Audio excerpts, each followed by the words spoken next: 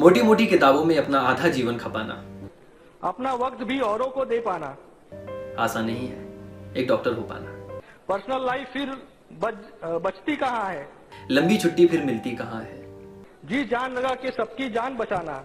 घर न बच पाई तो फिर मार भी खाना।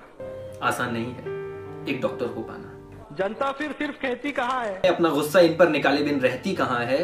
अरे डॉक्टर भी इंसान है प्यारे।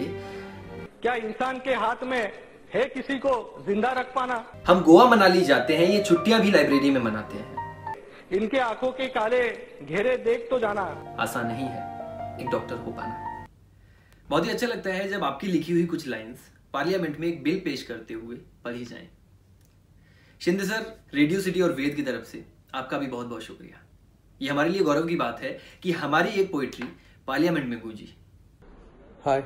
मैं doctor Shrikant Shinde member of parliament Kalyan Maharashtra से हूँ और उसी के साथ में मैं एक ऑर्थोपेडिक सर्जन भी हूँ।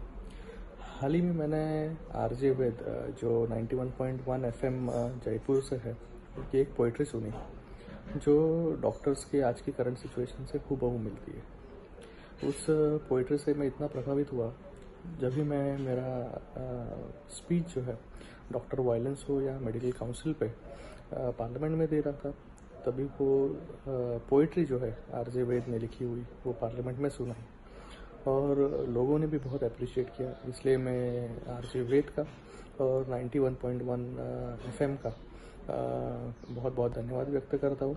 और लोगों से भी, ये दरख्वास्त करता हूँ कि डॉक्टर्स की भी फीलिंग होती है डॉक्टर्स की भी मजबूरियों को आपको समझना होगा, जो डॉक्टर्स आपकी जान बचाते हैं। उनके जान को खतरा आपसे नहीं होना चाहिए।